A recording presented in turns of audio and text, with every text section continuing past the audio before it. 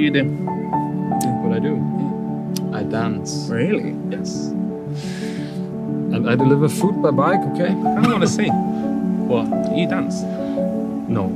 Come on, like I might never ever see you. Just, I'm not just, on, dancing. Do, just do it. Like live life. I'm like I should have danced that day. Leave me alone. The most important things in life is to be able to do whatever you want, or to, to be with who you want to be. so why then don't you do whatever you want? I don't know what I want to fucking do.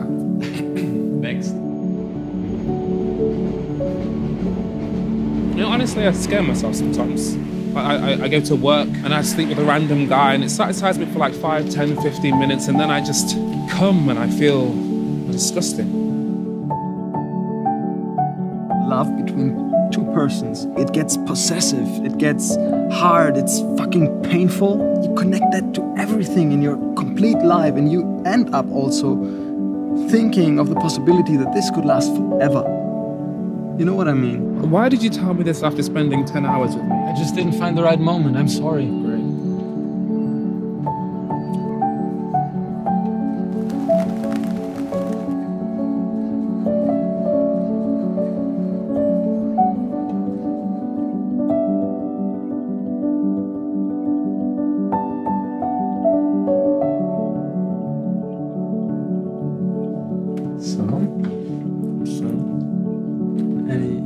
Amazing ideas? Mm, I've got a few in mind.